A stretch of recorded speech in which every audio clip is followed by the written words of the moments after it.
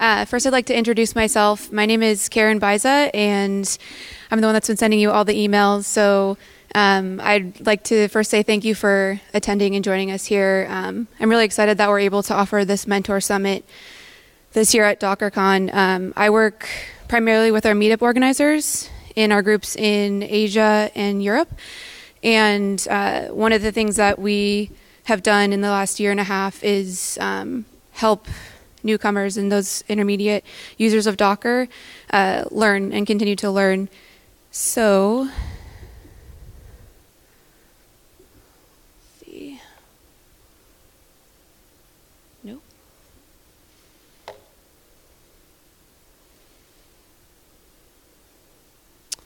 Okay, my computer's freezing. Let's see, maybe this will work.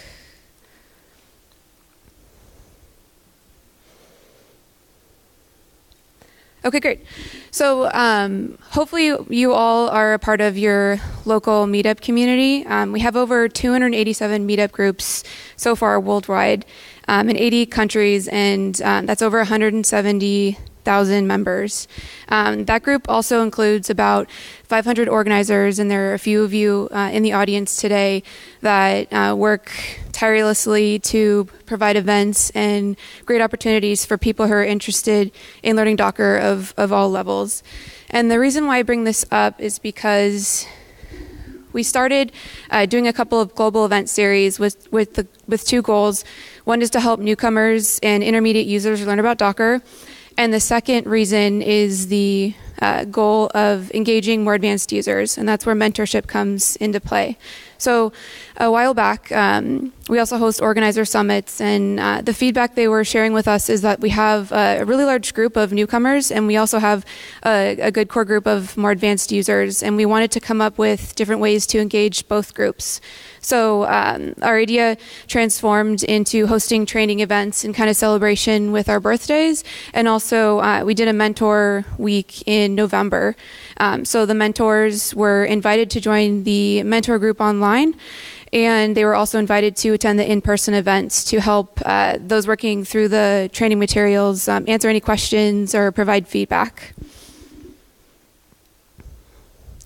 So, again, part of uh, engaging mentors online. We have a really great uh, Docker community online, and I encourage all of you to join if you haven't already. Uh, the goal for this group is to make sure everybody is informed and engaged and um, is up to date on the latest news and um, learning opportunities that we have to offer. Uh, within the Docker community, uh, like I mentioned, we have the mentor group. And so right now we have over 900 mentors, and so far, primarily communication within that group has uh, been limited to uh, mentorship opportunities around the in person event series. Uh, but now, since we're growing and uh, we're now able to offer more opportunities, more ways that um, a wide variety of user levels can mentor and can get involved in the community, um, including working with students, which you'll hear about a little bit later, uh, contributing code, and so forth. So, um, the Mentor Summit this year is part of that kind of expansion. So, I really highly encourage all of you to join the mentor group online. I know I've said it in a few emails, there are some cards outside. Um, that's really the great best way to stay up to date in um, actionable ways that you can get involved uh, as a mentor in the Docker community. So, with that kind of little bit of background information, um, we have some really great speakers for you here today. Um, Anna first is going to kick us off and uh, talk about what it means to be a good mentor and um, more or less how to be a great one. Uh, we have Sebastian from our open source team who will talk more about contributing to open source. We'll take a quick break, uh, and then we have Jerome, which will go over, give kind of a workshop presentation on the highlights uh, from DockerCon this year. Um, one of the ways that you can get involved in your local community is by doing a uh, DockerCon recap talk at one of your local events. So he's going to kind of work through all the highlights, and hopefully you'll walk away feeling confident to um, speak and give a presentation in your local community.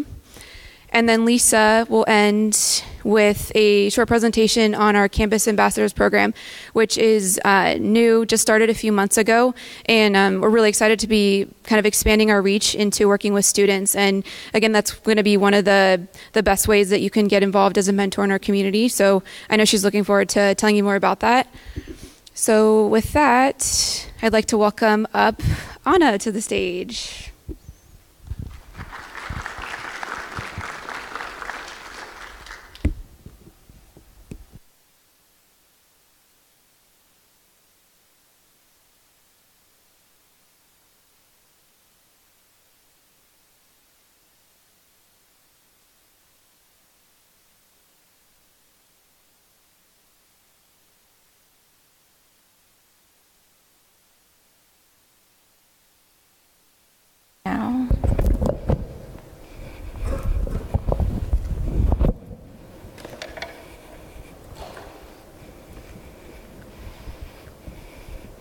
Okay, can you all hear me okay? Okay, great. Um, hello, everyone. I hope you've been enjoying DockerCon so far. This is my second year attending and speaking at DockerCon, and I'm really thankful that I get to be here. Um, I want to give a special shout out to Karen, Jenny, and Victor, who made it possible for me to be here and who invited me to speak here. Um, and thank you so much for all of you for coming here and being interested in the Docker Mentor Summit. A little bit about me first. Um, I'm from Germany. I have a non traditional background. I actually have a degree in English and Catholic theology. That's why you see Shakespeare and Pope Francis there. Um, but about three years ago, I started learning Python, and um, I got involved in the Python and Django communities. And I currently work as the community and operations manager of Django REST framework. Uh, in my free time, I'm involved in a few other tech related things. I'm PyCon US Open Spaces Chair, I'm DjangoCon US Diversity Chair, and I'm one of the leaders of the PyLadies Remote Group, which is a mentoring program within the Python community and I'll tell you more about that in a little bit. Um, since you're here at DockerCon at the Mentor Summit, I assume that all of you have some sort of interest in mentorship. And before I start, I just want to run a quick informal survey. Who of you has mentored someone? Okay, that's pretty much almost everyone. Who of you have had mentors? Okay. Awesome. Okay, so let's get started. As I mentioned, I'm an English major. I love definitions. So I pulled up the Merriam-Webster dictionary and I looked up what does the word mentor even mean. And the dictionary says that a mentor is someone who teaches or gives help and advice to a less experienced and often younger person, or that a mentor is a trusted counselor or guide. Um, and that definition isn't perfect, but it's pretty good. Um, I don't think that you have to be that you have to necessarily mentor a younger person. You can mentor someone who's older than you. You can mentor someone who's more advanced than you. Um, so now we know what a mentor is but why do people need mentors? Think about any situation where you learned something new, whether there was a new programming language, a new sport, a new instrument, just anything new. There probably was a moment when you get stuck, and all of a sudden you have this big mountain in front of you and you have no idea how to overcome it. And when you get stuck, you have two options. You can either give up and say, call it quits, or you can get help. And I just want to stress that giving up is not failure. Sometimes giving up is re- actually a really smart choice. But let's say that you're learning this thing and you're positive that you can make it, but you just need a little bit of help. You just need someone to help you climb that mountain. So that's when a mentor comes in. And um, just keep in mind that it takes a little bit of courage and effort to reach out to a mentor and to say, hey, I need help. Um, but that's actually the beginning of a new success story. So if you ever need help, don't be ashamed of admitting that you need help. It's actually a pretty strong move to ask for help. It brings you one step closer to your goal. So, what's a mentor's job? A mentor's job is to lend a hand, be a guide, be an ally, help someone climb that mountain, go on a mission with someone. Share your knowledge and help someone else succeed help someone set career goals, help someone with business decisions, help someone with some work challenges they might be um, overcoming or other frustrations at work. There's a million ways you can help as a mentor. But why should you become a mentor? Why should some why should you help someone? Why should you take that time to do that? And for me, the answer to that question is pretty obvious because helping others succeed is one of the best feelings in the world. Um, when I started out in the Python community, there were a lot of people that helped me. And without them, I probably wouldn't be standing here and talking to you today. And if you think of your own story in tech or other learning experiences, there were probably people who helped you too. You might not have called them mentors, but secretly they were. Um, and you should always give back at least as much as you have received. So if you've received mentorship in the past, consider paying it forward. You may say, okay, cool, Anna, but really tell me what's in it for me? Why should I do this?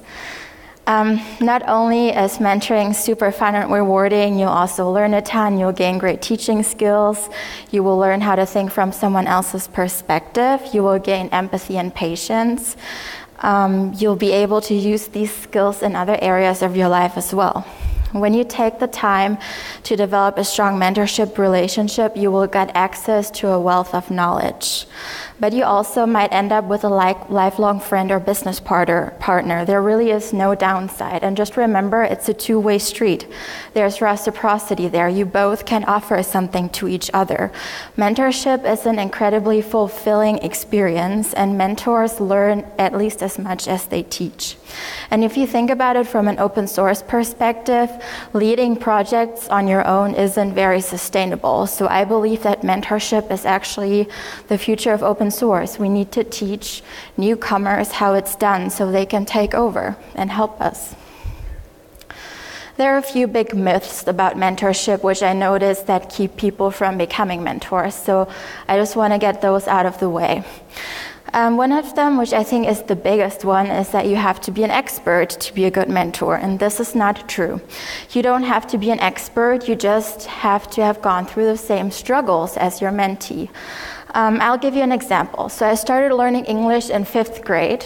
In seventh or eighth grade, I was tutoring other students. Was I, was I significantly more experienced than they were? No. I had just gone through the same struggles. And now, 10 years later, I have gone through 10 years of English education. I have a degree in English. I spent a year in the United States, and by no means am I an English expert right now, but I'm further away from those students' struggles. So it's a little bit harder for me right now to understand their grammar questions. Myth number two is that only in person mentoring is good mentoring. And that's not true. You don't have to meet at the same coffee shop every week in order to have a good mentor mentee relationship. Remote and online mentoring works just as fine. I'll give you another example.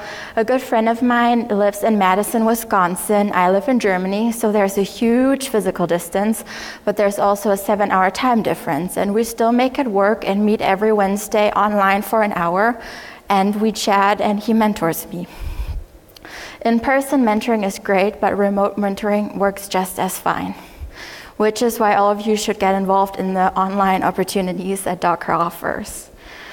And myth number three is that mentoring takes up a ton of time. I feel like that's why people shy away from it because they think it's too much of a commitment, they don't have the time to do it.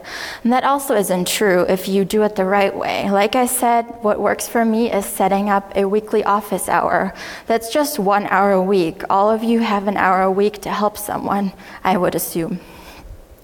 The advantage of having an office hour is, you know, both are free at that set time. And me as a mentee, I can ask my mentor all my questions during that one hour. And I don't feel the need to write an email every day, for example. And the last one is that only newbies need mentors. And that isn't true either. There's constantly something new to learn, especially in technology. There's always, there's always something new that pops up, and you never know it all. Sometimes it's good to just get a second opinion or advice. As humans, we're always learning, we're all evolving, we never know it all. So ideally, you should always play both roles. Mentors can have mentors as well. If you're a mentor, it's okay if you ask for help too.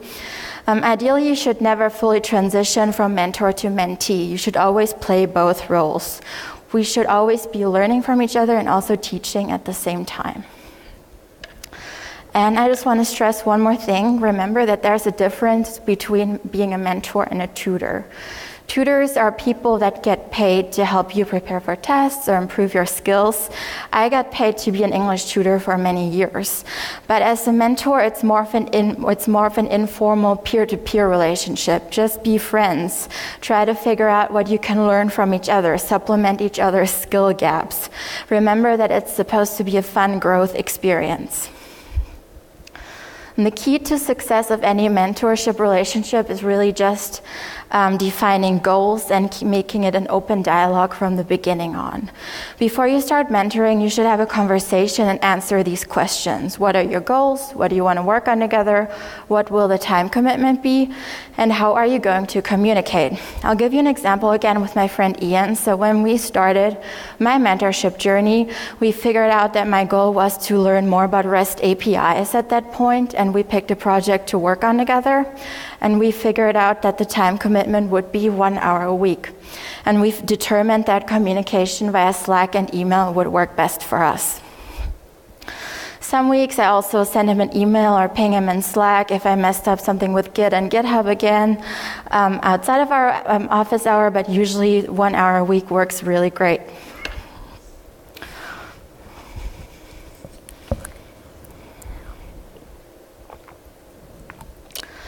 Let's take a look at the do's and don'ts of mentorship next.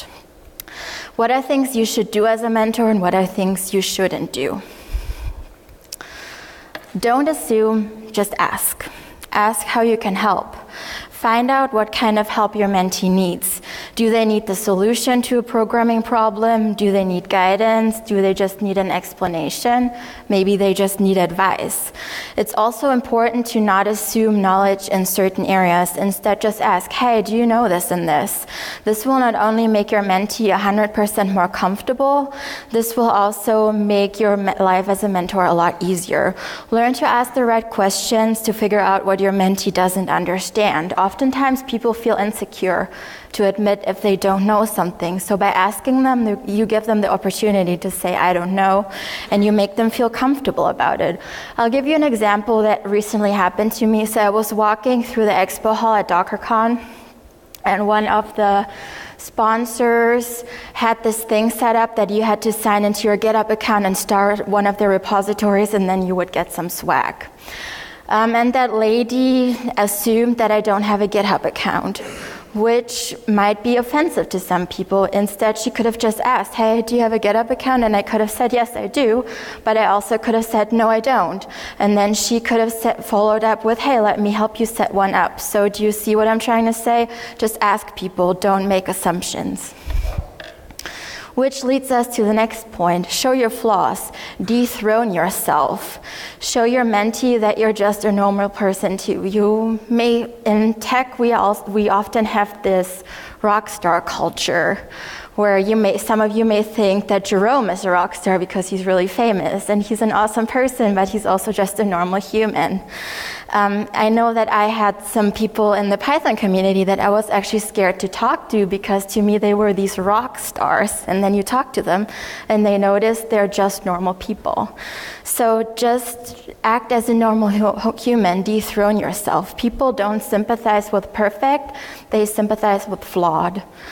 Um, my English student probably asked, used to ask me 10 times um, during our mentoring hour, what does this and this word mean? And uh, English actually has four times more vocabulary than German does, so I don't know all the words. So I took out my iPad or my iPhone in front of her, and I did that on purpose to show her that there are things that I don't know as well. I wanted to show her that I'm not perfect. And I also showed her just to pull up a dictionary app and look it up. Also, it takes a ton of pressure off of you if you admit that you don't know something. Um, some of you may have heard that saying the best teachers don't tell you, tell you where to look, but don't tell you what to see. You don't have to know everything, you just have to know where to look it up or who to ask. Um, and it takes a while to get comfortable with someone that you don't know very well, but um, when you show your flaws, it gets easier. Ideally, you should be me- uh, your mentee should be able to let, your, let their guard down with you and ask those stupid questions that we all have. As I, should, as I said earlier, you should always play both roles, always be a mentor and a mentee at the same time. Ask questions, remember that there are no stupid questions. Be open to learning from your mentee as well. Keep in mind that it's a two way street. Figure out what you can teach each other and what you can learn from each other.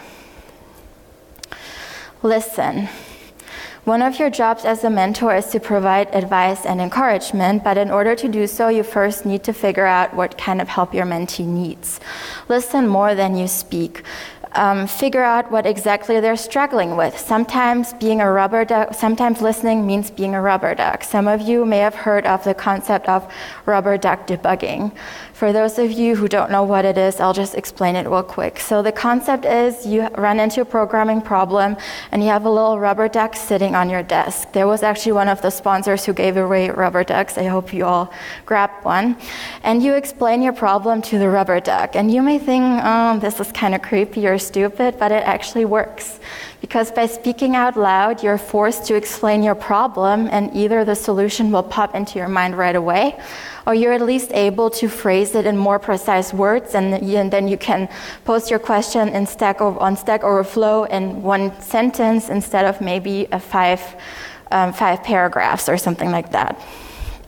Um, and sometimes, as a mentor, it's your job to just be that rubber duck. Just let your mentee explain problems to you and try to listen to them. Which leads us to the next point be committed and available. And this doesn't mean that you have to be available 24 7. That's not realistic. Sometimes that just means sitting next to someone, sometimes that just means being online in Slack, which, which takes no effort at all. I'll give you another example. When I was in elementary school, my grandfather um, used to always sit next to me when I did my homework. And I didn't really need his help, but his, he would just sit there and read his newspaper. And just his presence gave me enough confidence to finish my homework on my own. And sometimes that's all someone needs. When I mentor at workshops, for example, sometimes someone just needs the reassurance that they, the command they're typing in is the right one. Sometimes you just need to sit there and reassure someone. Um, mentorship is a commitment but how much time you want to spend on it is totally up to you. Your mentee should be the driving force and you should be the passenger, and together you'll decide how fast or slow you want to move. Show empathy, be patient, be open minded, be kind. Don't get upset if your mentee if you have to explain something to your mentee a couple of times. Different people need different kinds of explanations. Try to remember how hard things were for you when you started out. Take enough breaks, don't overdo it, cut your mentee lots of slack. We're all just humans, not machines. Always be positive and encouraging. Believe in your mentee and show them that you do. Um, sometimes we need for someone to believe in us first before we believe in ourselves. I remember about three years ago, I gave my first ever conference talk, and I was so nervous and shaky. But I had some friends at the conference with me, and they believed in me that I would do a good job. And if it hadn't been for them, I probably wouldn't have gone up on stage. Um, learning consists of a lot of ups and downs, and if your mentee's down, then you lift them up. Help them climb that mountain. Tell them repeatedly if they're doing something well. Tell them that they're awesome. Tell them that they can do it. Be proud of them. Encourage them to be kind to themselves too. And this one's very important. Words are powerful. Words can destroy a person's self esteem and self confidence and totally discourage them. Phrase things carefully. Apologize if you phrase something poorly. It happens to all of us, but it's just important to recognize your mistakes and try to do better. Um, I'll give you an example, which is a little weird maybe. So, yesterday I took a break and I went over to Starbucks and I got that new unicorn frappuccino that everyone's talking about. And I posted a picture on Twitter and I said something like, taking a break from DockerCon, drinking my unicorn frappuccino. And someone tweeted back at me and he said, Does it come with insulin? Hashtag diabetes ops. And to him, that was a joke, but to me, it was actually very offensive. So try to keep in mind that something that's funny to you might not be funny to someone else, and try to choose your words wisely. Also, never tell someone that they failed. The word failure is such a strong and destructive word that I don't think we need to use that. And finally, um, don't touch your mentee's screen or keyboard. I know it's tempting, and a lot of people just go like, "Hey, let me type that in for you," but it's actually very rude. Um, stay patient. It may take a little longer if you let them do it, but that's how they learn. You don't want for someone else to grab your screen and have fingerprints all over your laptop, right? So don't do that to someone else, please. Um, there are certain tools you can use when you mentor someone. Some of those may sound trivial or obvious, but I just wanted to mention them anyway. Um, here's a selection of tools that I like to use. Slack works great for communication online, and it's you have to remember that it's much easier to set up Slack than IRC. IRC is something I really struggled with when I started programming. Um, email, I know we all hate email because we get too many of them, but if you need a quick answer to a quick question, it works great. Skype or Google Hangouts for a real time conversation or screen sharing. Um, Cloud9 is a great online IDE. It's not the best IDE out there, but it lets you collaborate and see code and work on code at the same time, and it's also free. And Pastebin or Gist may sound trivial, but when I started coding, I had no idea how to share my code other than taking a screenshot. Um, just figure out what works best for the two of you. And besides these technical tools, there are also a few non technical tools like patience, a good attitude, a smile, friendliness, and empathy that you will need.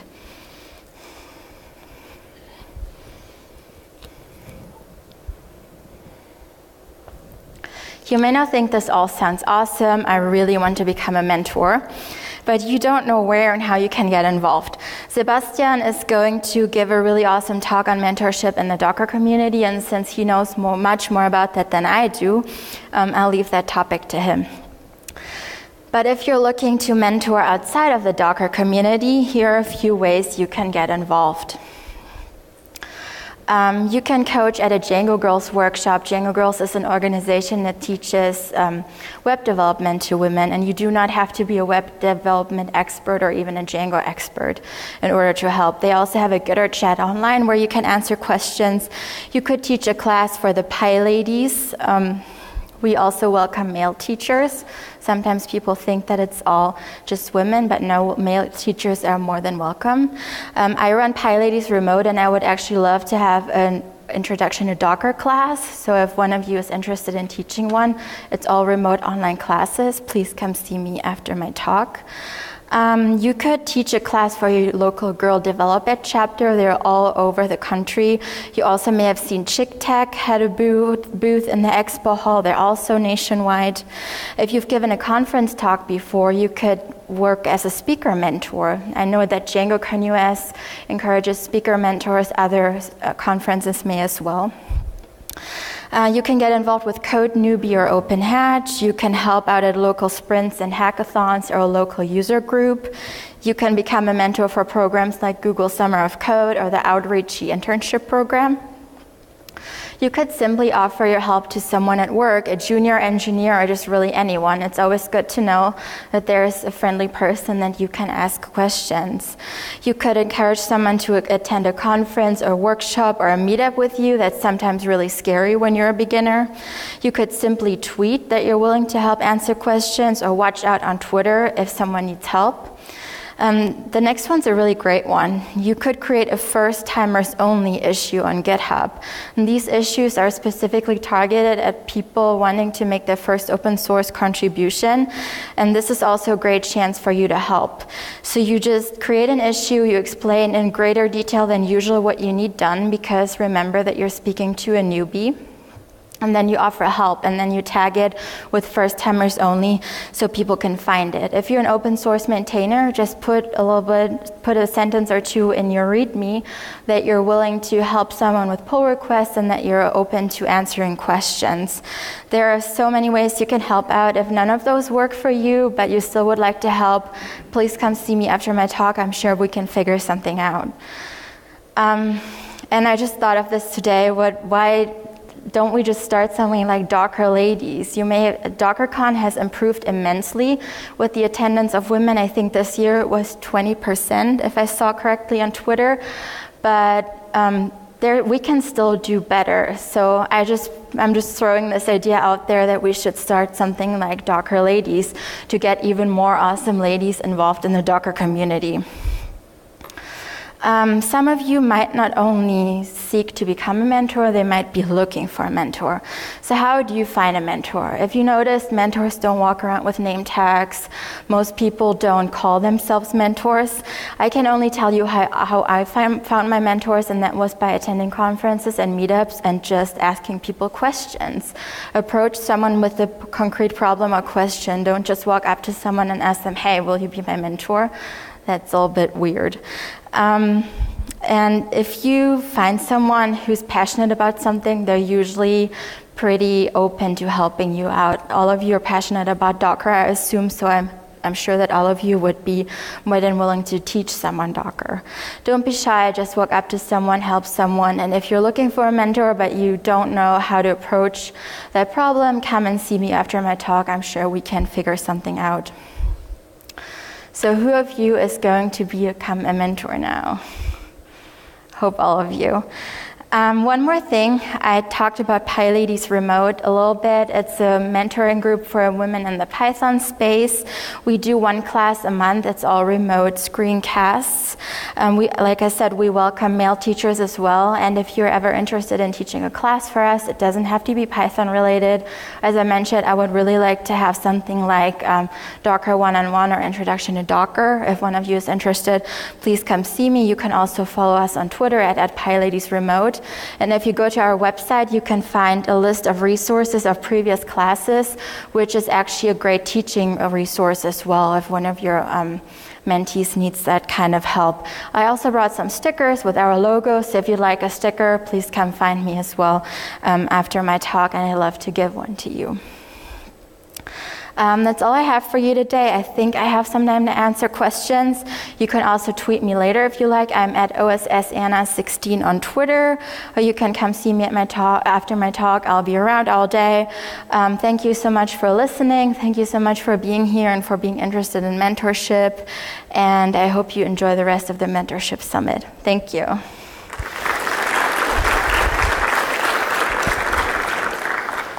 So we definitely have a little bit of time for question and answers. Um, so I can pass around the mic if any of you have any questions right now for Anna. No, not yet. Sorry.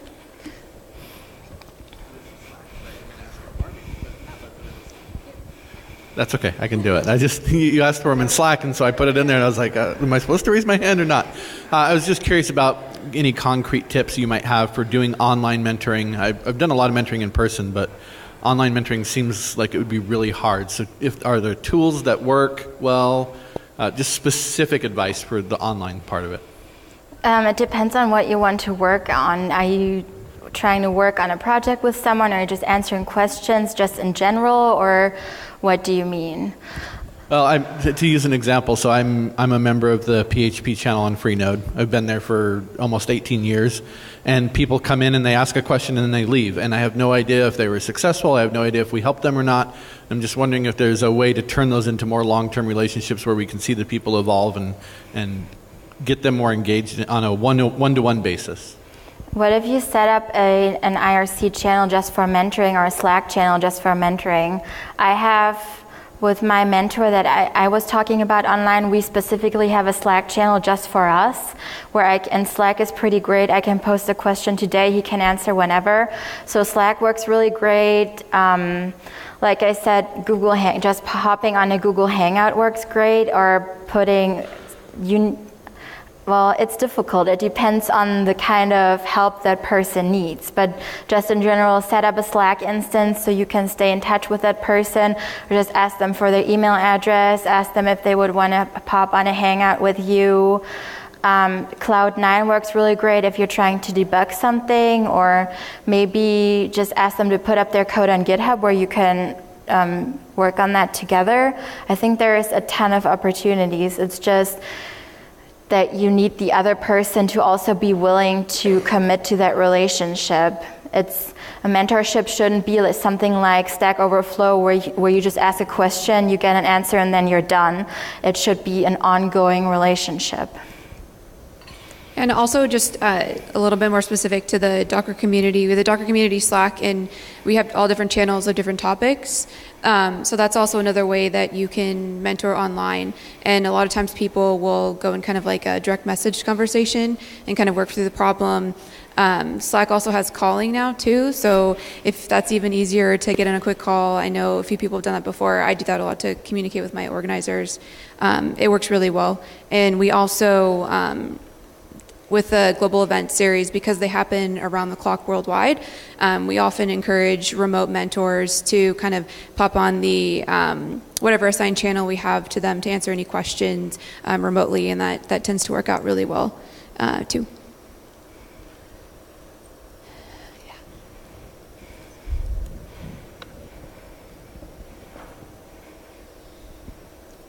Thank you. Do you have any specific uh, recommendations around, like, if you're trying to do mentorship to younger kids, school kids who, where you know the parents or the kids might not feel comfortable going online or into Slack channels, or how do you gain trust, trust and set something like that up? Okay, I'm just going to repeat the question. The question is how do you get more younger kids involved? How do you spark their interest? Raspberry Pis is a great way. Um, I know there is a program that PyCon does every year where they teach the kids, I think, Minecraft on the Raspberry Pi. Just pick a topic that kids are interested in. Minecraft is pretty great. I know Alex Ellis does a lot of cool stuff with the Raspberry Pi. Um, there's a conference in Nashville that I attend every year, and they give each kid a Chromebook. Chromebooks are very cheap, and usually you can find someone to sponsor that.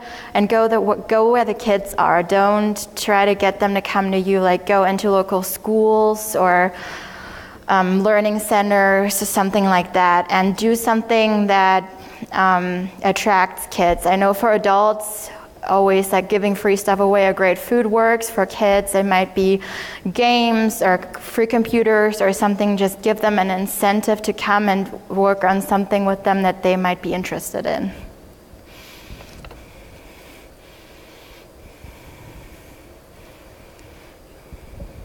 I have a mentor and a mentee who's Russian, and then I also have hearing issues sometimes there's issues with communication and understanding um, the point that each other's trying to get across. Do you have any advice for that?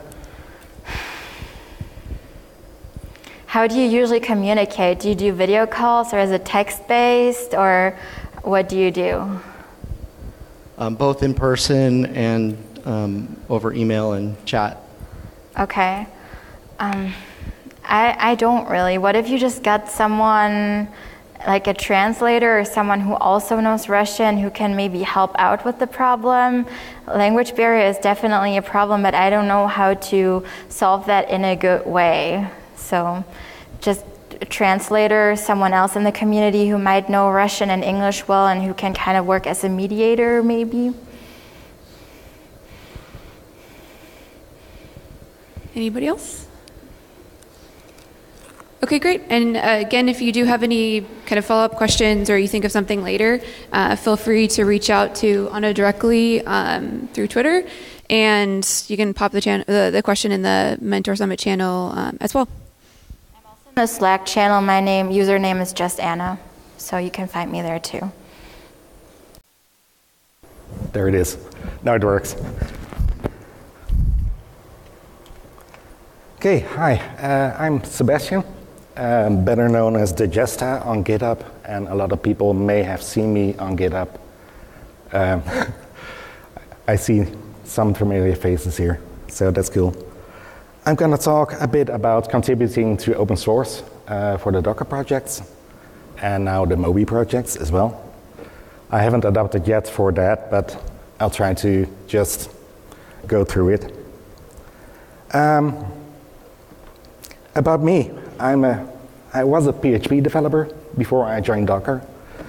I started to help out on the projects around version 0.5, so fairly early days. And currently, I'm a curator, a maintainer uh, for the Docker open source projects. Contributing. in all possible ways because it's not just code that we're talking about. There are some requirements, and many people think they look something like this. Like, I have a fairly experienced programmer in Go, uh, master degree in all kinds of things, uh, fluent in English. Uh, I've been running Docker in production for six years, so there's one that qualifies. Uh, but in practice, it's not that difficult because there's many ways to contribute, and most of those ways don't really need a lot of experience. It's just being there, and that's what I want to talk about. So, what are the requirements? I think basic communication skills in English are fairly good to have, but you can use Google Translate. I know some people do, and sometimes we even have to do it the other way. Um, you're willing to help out others because it's contributing in many ways. And you have used Docker.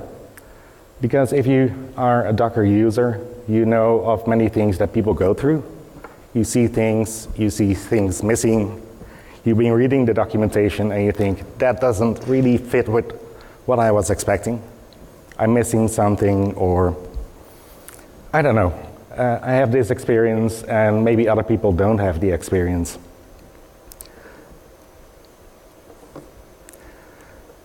So that's why I want to talk about the ways to contribute.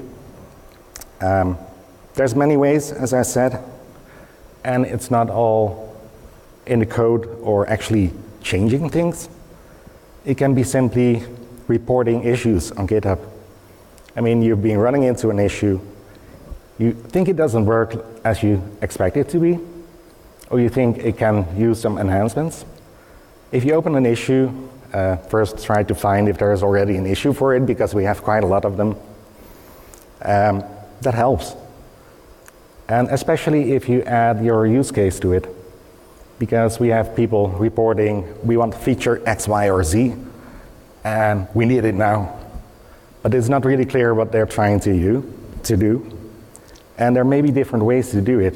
And if you open an issue and you describe this is my use case, and these are the steps I'm currently doing to achieve this with, with Docker. Then we can think along, and the maintainers may see, oh, maybe there's a way to improve this, or maybe have you tried this the other way? And that's something that's often missing, so we return to that later on. Um, also, read other users' issues. Um, people open issues, and maybe you ran into the same situation, and you think, oh, I have a solution for that. Have you tried this? Because it's not, not only the maintainers doing that, it's basically everyone can do, uh, can do those steps. You can open an account on GitHub, comments there, help other people's using Docker, or help clarifying them. Other ways to contribute um, improving the documentation. I'll come back to that later as well. It's often a first step for people to contribute to Docker because it's quite easy to do so, and we made it even easier recently. If you're more into coding, you can help out do the review. There's pull requests being opened, they need a review, and more eyes is always better. Other ways outside of GitHub, uh, interact with other users on the community Slack or other channels that there are, the forums, uh, Stack Overflow. You may have experience, other people may not have that, or just a nice chat to, feel, to make people feel at home or to direct them to the right people. A bit about the project and I put it like this in descending order of importance. First of all, contributors. I think those are more important than the maintainers and everything below. Um, the contributors, especially first time people, I think are very important. It takes a lot of courage to open your first pull request or to start adding to the project. Curators. Um, That's a role we invented, and basically, it started out with me. I was a, a user of Docker, and I started contributing by reading all the issues. And I had zero knowledge about Docker or anything below what, it, what it's doing. So I started learning from the project by reading the issues. And at some point, I knew about other issues that were opened. I could connect them. Or I could say, this is a duplicate, or have you looked at the other issue, or it's being worked on. And curators do our issue triage. I'm going back on that as well in some later slides. Then there's the maintainers. Ba maintainers are basically the housekeepers of the project. The most important part of being a maintainer is that you're the constant factor. We know that the maintainers are around, they're not moving away after a month or so. So you know there's continuity in the project. Um, maintainers can be employed by Docker. Many of them are not employed by Docker, or maybe weren't employed by Docker but became a Docker employee. And we have certain rules uh, how we select those maintainers. Uh, there's a link here, but I can explain it. That basically we look at activity on a repository, see how people contribute to the project, and if we identify people that have been active for several months, um, we know they are a constant factor in the project. And at some point, we may start a vote, and all the maintainers can vote if they agree on having that person added. And if they do, a person get added as a maintainer. And maintainers have to follow the same rules. We have a set of rules, uh, like if you want to merge a PR, it has to get two LGTMs for, from other maintainers. LGTM is looks good to me, so they reviewed the PR. They said it looks okay, we can merge it now. And maintainers never push directly to master or any branch it's always through a pull, request, and it goes the same process as for everyone else.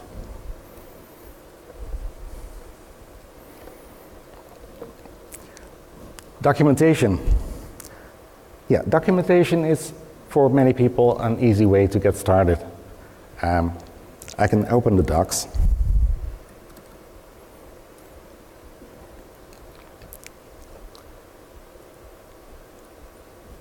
If the connection is doing it.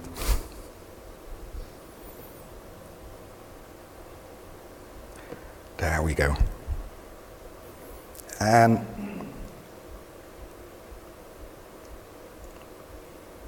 in a recent change, um, there has been added some buttons to the documentation itself. And on every page, you will find an edit this page button and a request doc changes. What that will do is the first button will automatically open the file on GitHub, open it in an editor, and you can make the changes that you think are needed, open the pull request, and within no time, after some review, you can get it merged.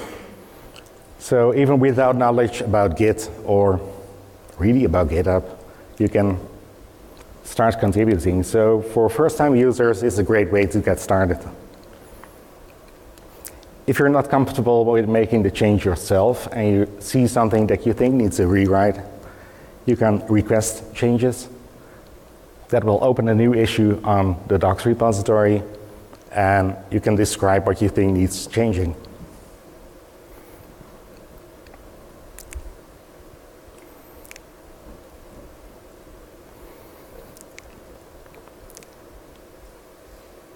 If you have an issue with the documentation and it's more general, so not a specific page, you can always open an issue on the GitHub repository itself and describe what you think needs changing. And that could also mean that you think maybe we need a new section to the documentation because we have some reference or we have something describing a feature of Docker. And it could be that you think, okay, this needs some use cases, that are not described.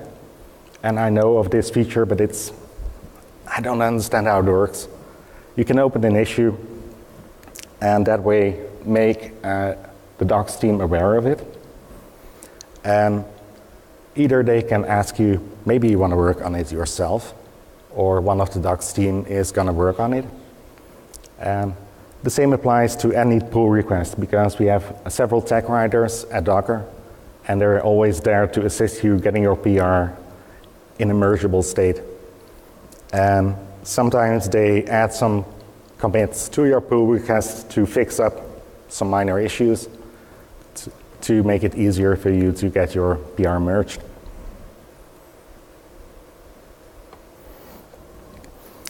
This is basically what I was saying. So if you have feedback on the documentation, it's important to tell so. Um, especially for the engineers and people at Docker. We're working with Docker all the time, and it's easy to overlook things you run into as a beginning user or as a daily user, but in a different use case. So all feedback is welcome, and it's a way to contribute.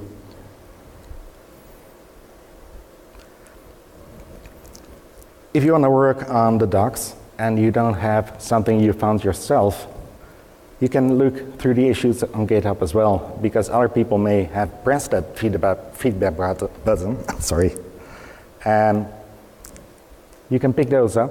They currently have a hackathon going on, and they labeled all the issues with uh, hackathon and uh, experience levels, and you can look at those issues and work on them. And you can get nice gifts as well, if I understand. Um, if you want to interact with the docs team, they're on the community Slack as well, and I think it's in the docs channel or documentation. I forgot, but um, so if you want to directly interact with them, do so. They're there to answer your questions.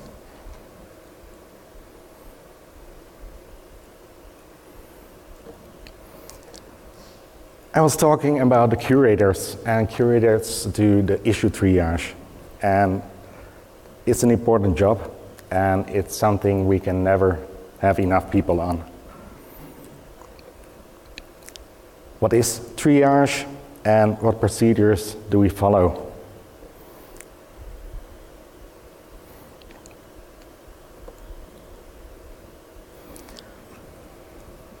First of all, uh, triage is a, big part of triage is getting the right information. People report an issue, uh, forget to mention the exact things they encountered, didn't mention the, the version of Docker they were using. Um, so getting the right information is important. Finding duplicates, because people don't always search the GitHub issues, and it's not the best search engine around.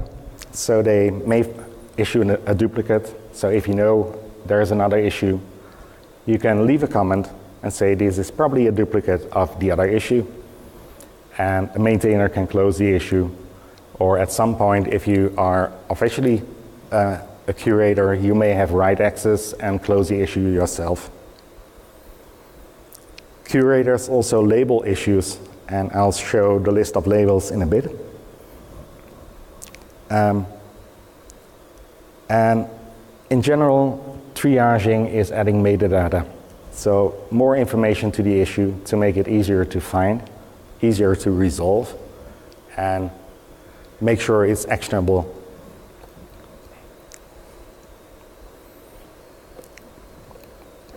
In the repository, we have several documents describing the processes we follow. One of them is the triage process for issues. It describes what information is required to open an issue if you file a bug report, like the Docker version and Docker info, because it contains a lot of valuable information for the maintainers to know what they should be looking into.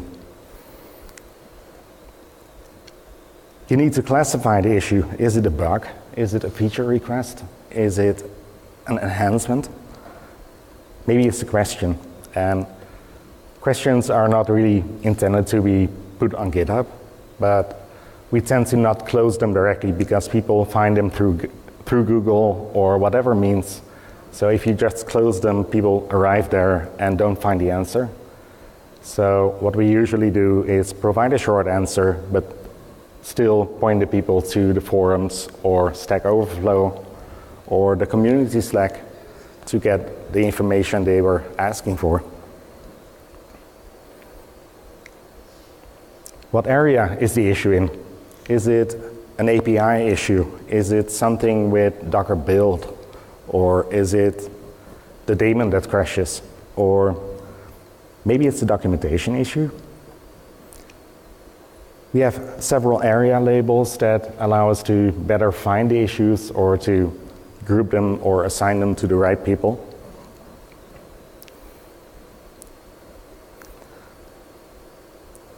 The platform is important. Uh, Docker running on Windows do, uses completely different mechanisms than Docker on Linux.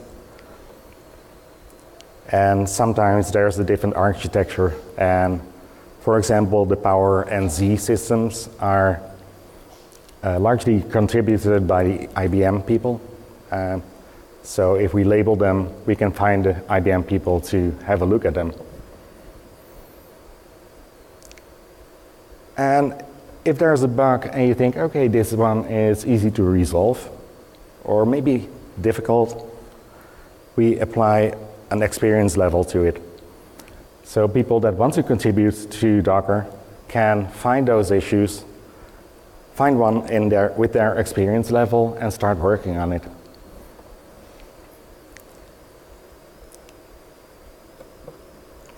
And the final two parts is a status. So if we were able to reproduce an issue, we can say it's confirmed. If it's a feature request and we think it's a great idea, but don't have the time to work on it, we can add a status accepted that we can tell uh, other people to start working on it is fine. And more info needed is usually either if someone didn't provide all the information or we suspect the issue has been resolved, but we want to have that feedback from the user to confirm it's resolved for them as well. And then there's a needs attention, and that's usually if there's an issue or a pull request that needs more eyes. And if a maintainer or a curator applies that label, uh, we have a weekly meetup with the maintainers. It's a hangout, and I can add those issues or those PRs to that session to talk about them with other people. And the last section is priorities, and that is, is used uh, for high priority issues that may be a reason to issue a patch release of Docker. We, we've had cases where there was a kernel panic or uh, uh, sorry, a panic in the Docker daemon that many people could run into. So usually that's an issue that needs to be worked on as soon as possible, and we will release a patch release because of that.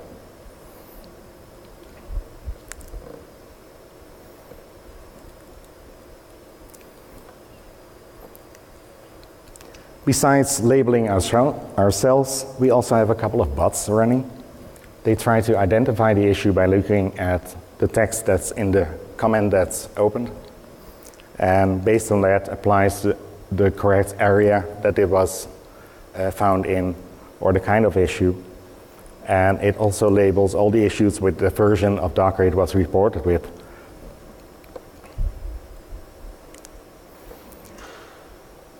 So if you think you want to get started on triaging, um, when can you do so and how can you do so? Basically, anytime. Any person can already help out with the triage. As I mentioned before, you can ask for more information. You can see an issue and think it's a duplicate. And commenting on GitHub is possible for every, everyone, so you don't need special permissions. And if you do so for a while, or you contact me and you say, I want to do this more, we can add you as an official curator to the repository.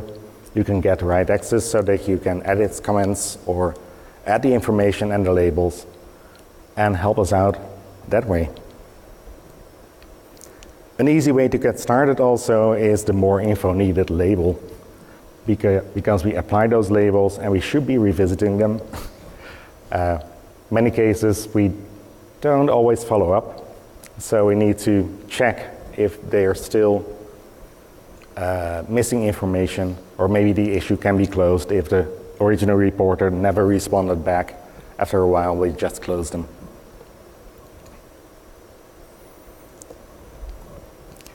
Some more practical examples. Um, well, the issue tracker is not a support forum, and many people see it as it, as it is. And although we try to answer the questions, it's taking a lot of time. So, if possible, if we see an issue that's being opened and really is a support issue, not, not a bug report, point the person to the right locations to report their issue or to, to discuss what they want to discuss. And you can do so uh, without being a curator officially, just comment and point them to the right location and ask the original reporter to close, to close the issue. Um, this is if you are a curator, because we have many cases where issues are opened by mistake, because apparently GitHub has a shortcut and it's the C for create an issue. So if you're on the issue overview page and you type Docker, enter, it will create a new issue for you. So we have a lot, a lot of issues like this, like this, CurHub, and we know what's happening.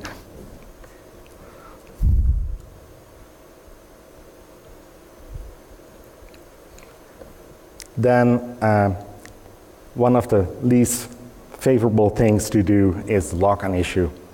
Um, we have issues and we most of the time we leave the discussion, the, the, the discussion open for commenting so that other people can interact with the people that reported the issue. Uh, sometimes an issue is still open and people start to report all kinds of non-related issues on that. So part of triage is also locking down an issue. That's not always fun to do.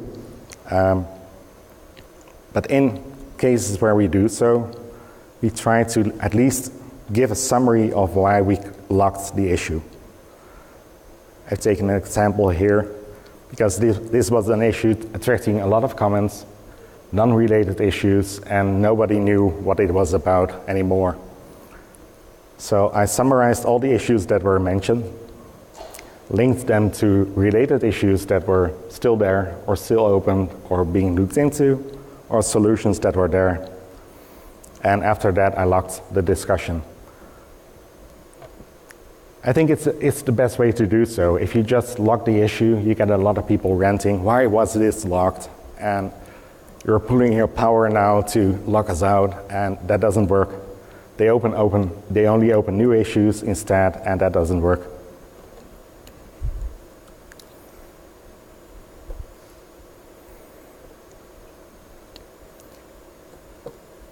Also, a good thing is to check if people report it in the right location. Uh, there are several products, and some of those products, Docker for Mac, Docker for Windows, have their own issue tracker.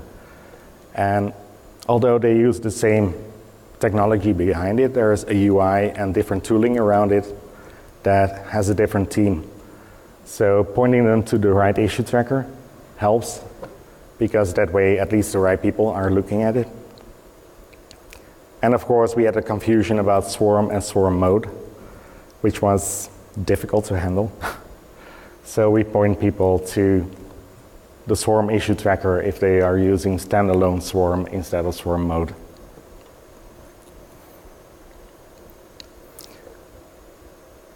And as mentioned before as well, Docker version and Docker info provide a lot of useful information, and some people don't understand why. Uh, but the point is there's various versions of Docker. There's also versions of Docker that were not built by Docker and have patches. And sometimes the issue is related to those patches, and we cannot help the people because we don't have those patches. And it's useful to check if they're running the standard kernel version for the distro. It's a bit more technical, but we had cases that people ran their custom kernel on top of a regular distro and had all kind of issues there. And we were looking into it for weeks and then finally asked, okay, maybe you can provide your Docker info. Have you tried the regular kernel? And the issue was resolved.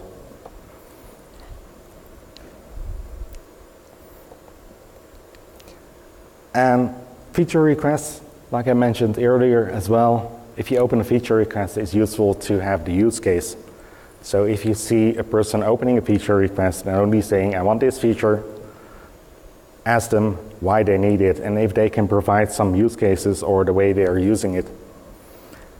So even if you're not the original reporter of the issue, trying to ask the person that did to add that information. Ask them, maybe provide some examples or more information or maybe it's the technology you're using yourself and you have some additional use cases that you think is useful. Always add it.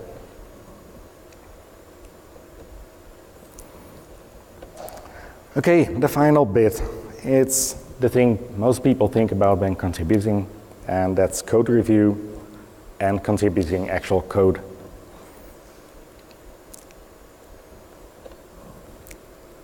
We have processes for that as well. And again, the bots play a role.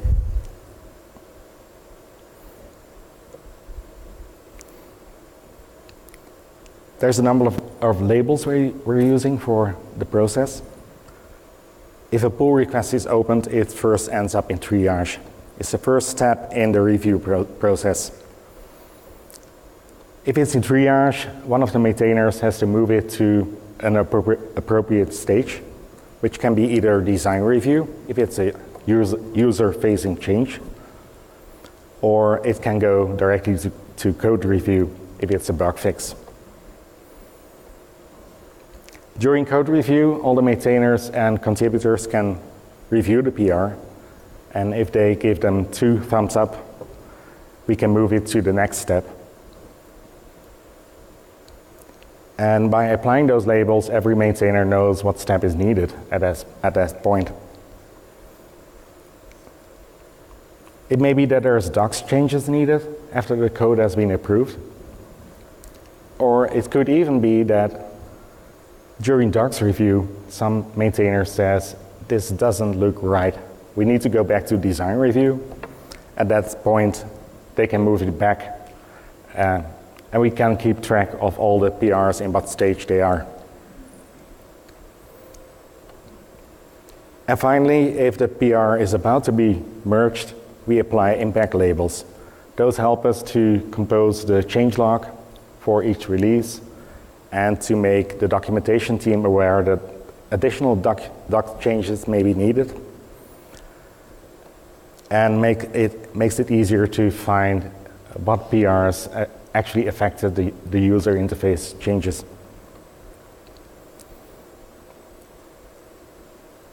And last but not least is during our release process, we have a couple of labels that we use to cherry pick PRs into a release branch, merge it back, or do several steps during the release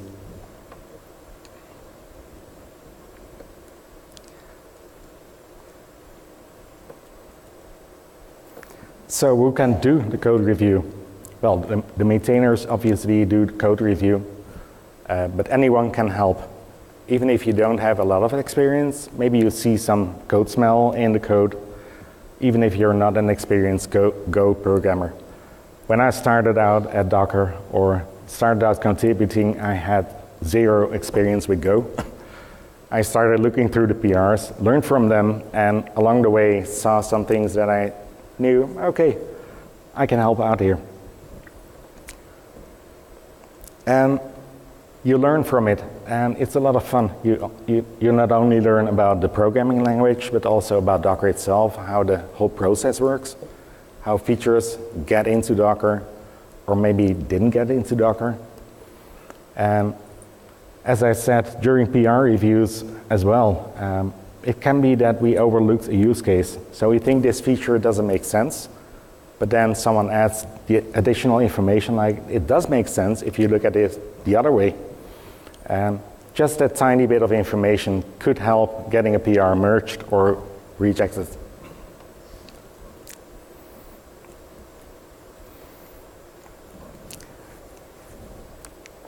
Okay, if you want to contribute code yourself, there's a couple of ways. First of all, bug fixes are always welcome. So if you see an issue being reported that mentions that it's a bug, feel free to start wor- working on it. If it's a new feature and there was not an accepted label on it, it may be worth to check first with the maintainers if we generally agree on the feature. Many times we leave a feature request open to collect more feedback. So it's not directly that it's still open that it means that we will accept it. It's also that we are collecting feedback to see if it makes sense. If you think it makes sense and you have all reasons to, um, feel free to ask a maintainer um, is it okay to work on this? Could be on GitHub or on the community Slack. And if they say go ahead, by all means start coding. And it doesn't have to be perfect at first time. Um, we help you during the PR uh, review process to get your PR in a mergeable state. So even if you're not sure, you can open a PR, uh, make, make known that it's a work in progress and that you're collecting feedback on the PR as well, and we help you out. One thing that is important is to keep your pull requests small. Don't implement a huge feature and dump it over to the repository. It's better to make small changes, which could even be a single line of code. Especially if it's a single line of code, there's one or two maintainers saying that's ready to merge. It's merged within no time. Usually a PR is merged at least within a week, sometimes within a couple of hours.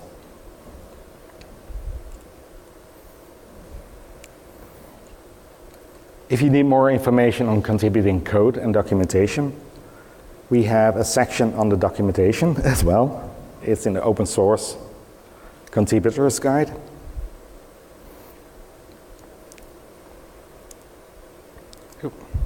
That doesn't work.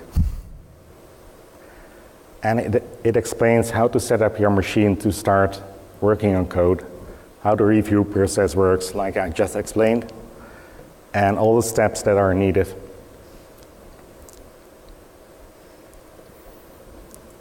You can ping a maintainer on the community Slack, or you can also send an email to the Docker Dev Google group. And for me, that's it for now. Are there any questions?